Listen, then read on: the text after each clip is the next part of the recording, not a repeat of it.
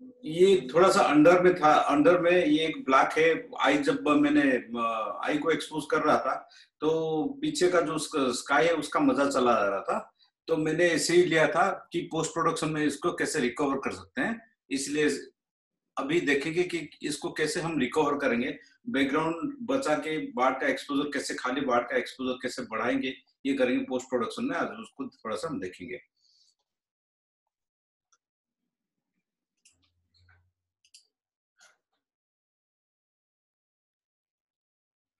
जैसे कि आप देख रहे हैं, यहाँ पे इसका एफ़ 5.6 में लिया लिया गया है और I S O three twenty ज़्यादा नहीं लिया आई एस थ्री ट्वेंटी था और शटर स्पीड था, ढाई हज़ार का शटर स्पीड था।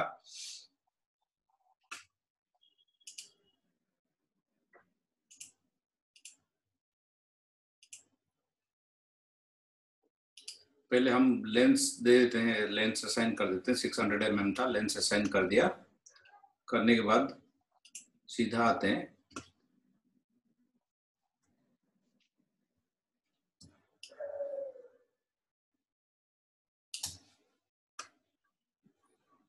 पहले जो हाईलाइट है हाईलाइट को हम पहले क्या करते हैं? थोड़ा सा हाईलाइट को कम कर देते हैं। हाईलाइट को कम करते हैं, पहले बैकग्राउंड को बता देते हैं। उसके बाद बर्ड के ऊपर काम करेंगे। पहले बैकग्राउंड को थोड़ा सा हम डीप करते हैं। ज़्यादा व्हाइट ना ना हो जाए। उसके बाद हल्का एक्सपोजर लेवल थोड़ा सा एक स्टॉप दीजिए। अभी ब्लैक में आइए। ब्लैक को थोड़ा सा हल्का एक्सपोज कीजिए। अभी शैडो को थोड़ा सा और थोड़ा दे दीजिए। शैडो को थोड़ा सा बढ़ा दीजिए।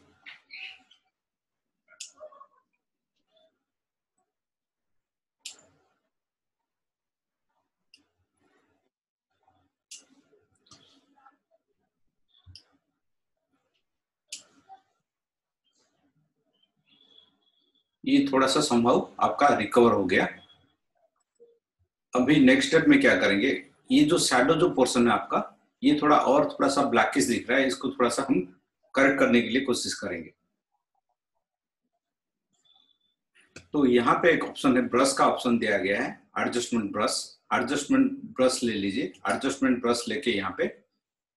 यहाँ पे एडजस्टमेंट ब्रश में ये हो गया आपका ब्रश का साइज़ ब्रश का साइज़ आप बड़ा छोटा कर सकते हैं स्क्वायर ब्रैकेटिंग में। यहाँ पे भी है आपका साइजेस बड़ा करना या छोटा करना, कौन सा साइज़ लेना। और ये आप स्क्वायर ब्रैकेट में छोटा बड़ा कर सकते हैं इसको। फ्लो यहाँ पे कितना फ्लो देना है, वो भी दे सकते हैं। और डेंसिटी कितना देना है, वो भी कर सकते हैं। तो मान लीजिए फ्लो हम फोर देते हैं डेंसिटी थोड़ा सा हंड्रेड पे ही रखते हैं डेंसिटी को। अभी यहाँ पे आपको, मैं पहले इसको सबको डिफ़ॉल्ट कर देता हूँ। सॉरी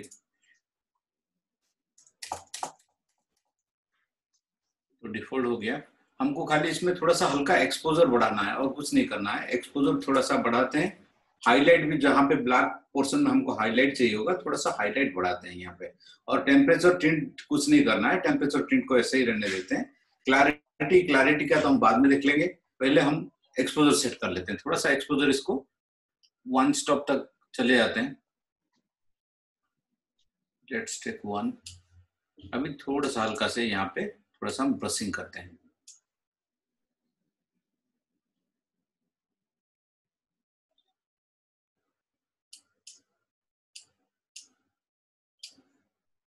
यहाँ पे हाईलाइट करने से पता चलेगा कि आपका यहाँ पे ब्रशिंग हो रहा है कि नहीं। ब्रशिंग हो रहा है, जहाँ जहाँ शैडो पोर्शन है, वहाँ पे हल्का से हम ब्रशिंग कर देंगे, धीरे से। ज़्यादा करने से ज़्यादा नॉइजी हो जाएगा, ज़्यादा मत कीजिएगा, थोड़ा सा हल्का कीजिएगा। यहाँ पे मैंने वन स्टॉप दिया था, और चाहे तो और थोड़ा सा आगे आप बढ़ा सकते हैं इसको। अब थोड़ा उसका फेस थोड़ा सा हल्का रिकवर हो गया। यहाँ पे हम जितना, जिस पर्सन को हाईलाइट करना है, उसको हाईलाइट कर सकते हैं। देखिए प्रीव्यू में देख सकते हैं ऑफ़ ऑन करने के बाद। पहले ये था आफ्टर ये हो गया आपका। थोड़ा सा लाइट आ गया।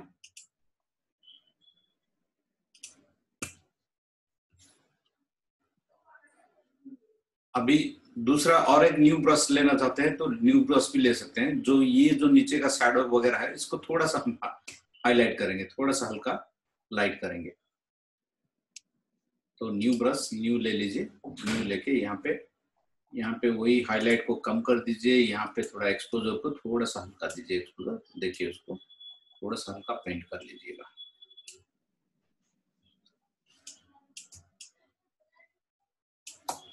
हल्का थोड़ा सा।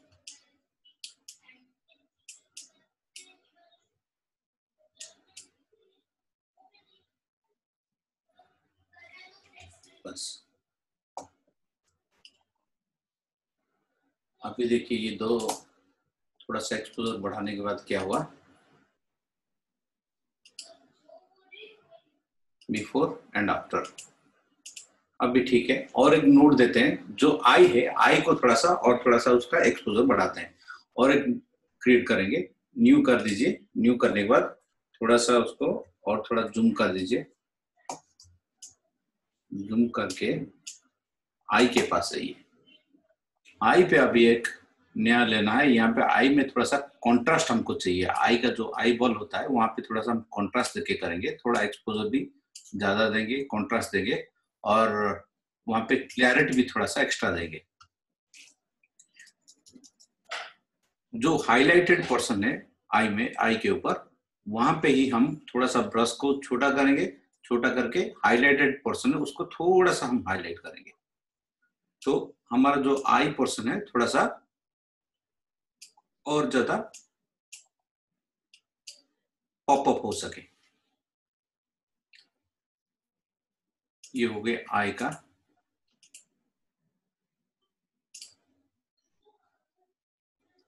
और थोड़ा कॉन्ट्रास्ट दे दीजिए थोड़ा सा आई में। एक्सपोजर भी थोड़ा सा बढ़ा सकते हैं।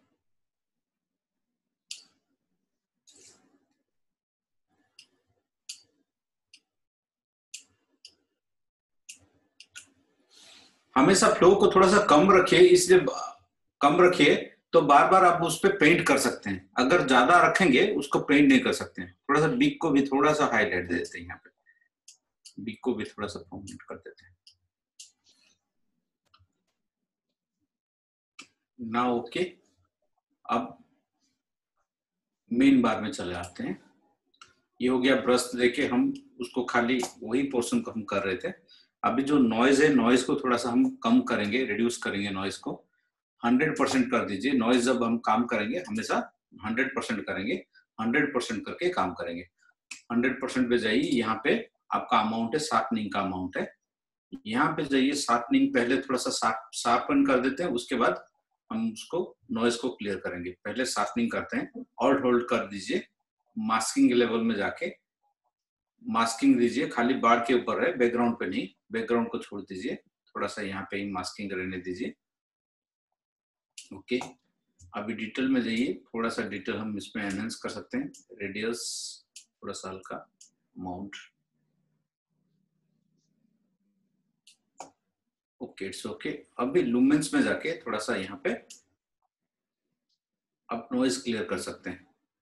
लेट्स टेक ट्वेंटी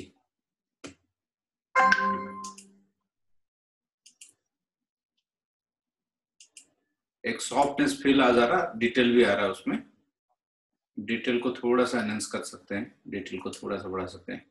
अमाउंट ठीक है। लगभग अब नॉइज़ भी उतना नहीं है नॉइज़ भी क्लियर हो गया है अभी।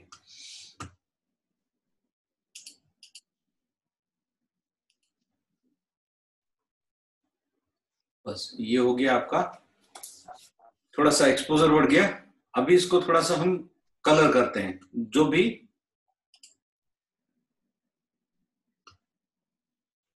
क्लैरिटी और थोड़ा देना है तो आप क्लैरिटी दे सकते हैं। थोड़ा सा हल्का क्लैरिटी दे दीजिए। यहाँ पे जो म्यूटेड कलर है आपका, उसको थोड़ा सा एनहेंस करना है। म्यूटेड कलर को वाइब्रेंस में कर सकते हैं।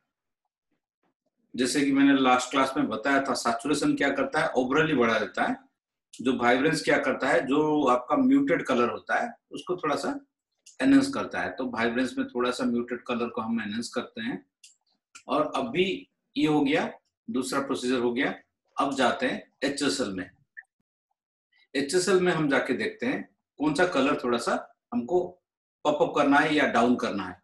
वो देख सकते हैं। लुमिनेंस में अगर आप किसी को लाइट देना चाहते हो, यहाँ पे लुमिनेंस में भी थोड़ा सा आप लाइटेड कर सकते हो या डीप कर सकते हो। थोड़ा बैकग्राउंड हम थोड़ा सा डीप करना चाहेंगे, थोड़ा बैकग्राउंड को और थोड़ा डीप कर दीजिए। तो आपका जो बर्ड है थोड़ा सा और थोड़ा पॉपअप हो जाए बैकग्राउंड से थोड़ा सा हटके आ जाए सामने। अभी जो यहाँ पे मेजेंडा टोन दिख रहा है, आपका क्रिम्सन दिख रहा है, उसको थोड़ा सा हम सैचुरेट करेंगे। थोड़ा सा हल्का सैचुरेट कर दीजिए। ऑरेंज में थोड़ा सा देंगे सैचुरेशन। अब जो ग्रीन है, ग्रीन को ऐसे ही रहने देते हैं, ज़्यादा ब्राइट करेंगे तो जो बाढ़ का मज़ा है वो चला आएगा।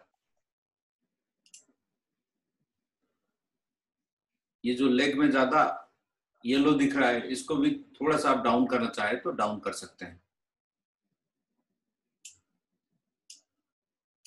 बस उतना ही, ज़्यादा छेड़छाड़ी नहीं करेंगे।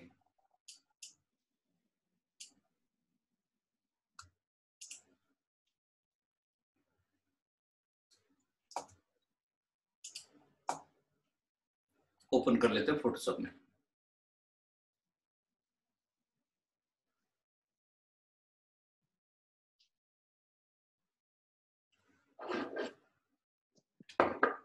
अब देखिए फोटोशॉप में आने के बाद।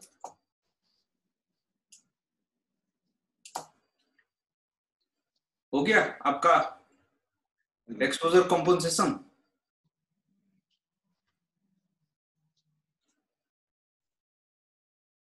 प्रमोद सर ठीक है? हाँ सर हाँ सर। पहले से उसका आई देखिए उसका बॉडी का टेक्सचर देखिए बाकी सब देखिए। पूरा डिस्कार्डेड फोटोटा को यूजेबल फ़ोटो हो गला सर जब भी आप शूट करते हैं सर वहाँ पे क्या करना है आपको जब भी ये सिचुएशन आए आपको एक स्टॉप डाउन में ही कीजिए। पहले आपको ये देखना है कि बर्ड हम रिकवर कर सकते हैं यहाँ पे। अगर वहाँ पे देखिए हमारा दो साइड होता है एक होता है हाईलाइट होता है और एक होता है डीप हाईलाइट जो होता है हम उसको ज़्यादा हाईलाइट नहीं करना है। थोड़ा सा डाउन करके रखना है तो तब जाके हम रिकवर कर सकते हैं। अगर मान लीजिए ये जो बॉडी में जो व्हाइट है यहाँ पे ब्लैक है ये ब्राउन है ये दो डीप शेडो के अंदर ये व्हाइट है। अगर हम इसको ज़्यादा एक्सपोजर एक्सपोजर कॉम्पोजिशन में एक दो स्टॉप बढ़ा के ले लेंगे हाँ। तो ये ब्लैक वाला आपको दिख जाएगा लेकिन ये जो व्हाइट है यहाँ का टेक्सचर आपका चला आएगा इसीलिए यहाँ पे क्या करना है आपको एक स्टॉप नीचे ही शूट करना पड़ेगा। थोड़ा सा आपको बैकग्राउंड भी देखना है। बैकग्राउंड अगर बैकग्राउंड व्हाइट भी हो गया फ़ोटो पूरा एकदम डेड लगेगा, मज़ा नहीं आएगा उसमें। तो वहाँ पे क्या करना है आपको थोड़ा सा अंडर ही खींचना है। आके पोस्ट प्रोसेसिंग में आप उसको रिकवर कर दे सकते हैं इजिली रिकवर कर सकते हैं।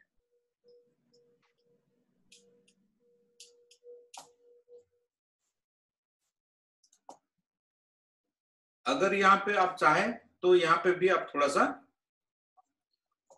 कर्व में जाके, जैसे कि मैं बताया, मैं इतना ही एडिट करता हूँ बाद में देखता हूँ थोड़ा सा कर्व में अगर कुछ करना है तो कर्व में थोड़ा सा कर लेता हूँ।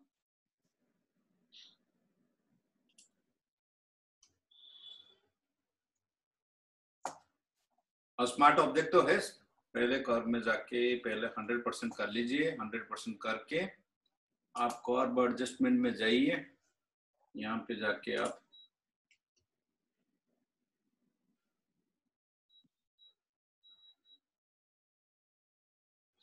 थोड़ा सा हाईलाइट बढ़ाएँगे। हल्का।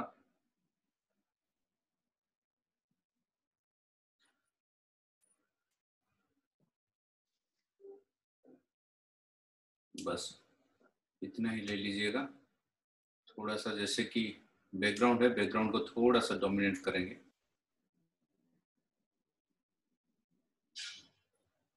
बस अब देख लीजिए बिफोर एंड आफ्टर इफ़ेक्ट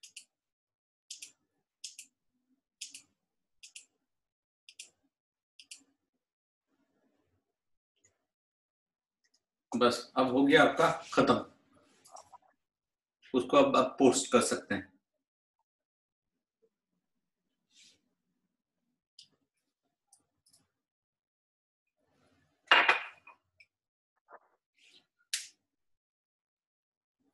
लगभग ये रॉ एडिटर में हो गया। फोटोशॉप में ज़्यादा कुछ काम नहीं है। खाली उसको लाइट थोड़ा एडजस्ट करना है। बस, अभी आपका ये एडिटिंग खत्म। आप उसको ये कर सकते हैं। अगर ये भी हो सकता है मास्किंग में जाके भी आप ये भी कर सकते हो। कई कबार क्या होता है कि आपका बैकग्राउंड को थोड़ा और बचाना पड़ता है तो बैकग्राउंड के लिए आप भी ये काम कर सकते हो। अभी मास्किंग हो गया आपका, मान लीजिए। मैंने इतना, मुझे ब्राइट चाहिए, ठीक है? मुझे इतना ब्राइट चाहिए, लेकिन आपका सब्जेक्ट पे भी ब्राइट आ गया है। वहाँ पे क्या करें? वहाँ पे क्या करना?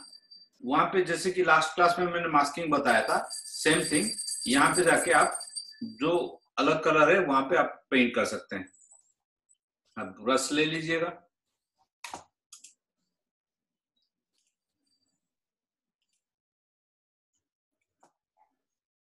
अब यहाँ पे है व्हाइट है मतलब आपको ब्लैक लेना है। ब्लैक लेके यहाँ पे पेंट कर दीजिए।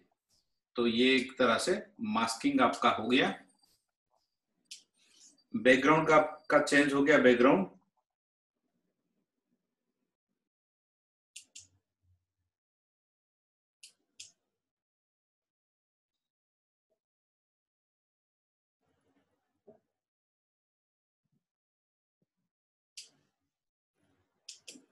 बस।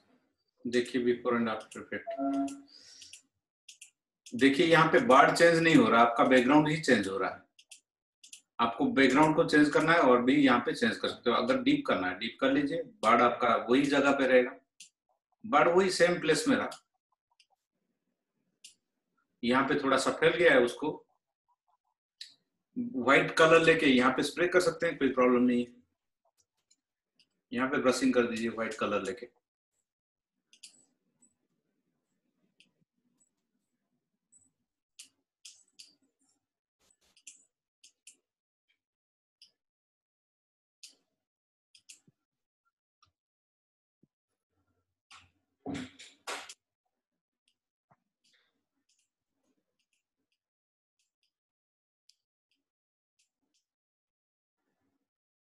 ठीक है, वो कर सकते हैं।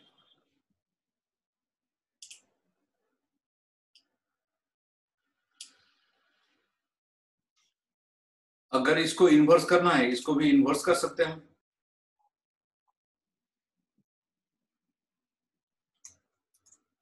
इन्वर्ट करने के लिए कमांड आई तो बाकी का बैकग्राउंड मास्क हो गया। अभी ये वाला अलग है। आप बार्ड को खाली करना है बार्ड को कुछ करना चाहते हो, ये सब इफ़ेक्ट बार्ड पे हो जाएगा अभी। जो भी इफ़ेक्ट होना है बार्ड पे होगा। बार्ड पे हम हाईलाइट बढ़ाएँगे, देखिए खाली बार्ड का हो रहा है। बार्ड को लाइटिंग करना है और लाइटिंग करना है, और लाइट कर दो। अभी ये भी हो गया एक्सपोजर कॉम्पोजिशन आप उसको एकदम से उठा सकते हो आप। थोड़ा सा डीप चाहिए, थोड़ा सा डीप दे दीजिए। अब ये भी देख सकते हैं, जो before and after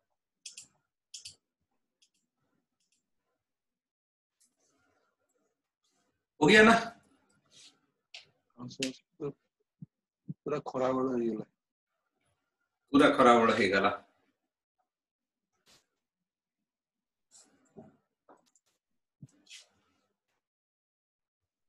Sandeep? Record stop करो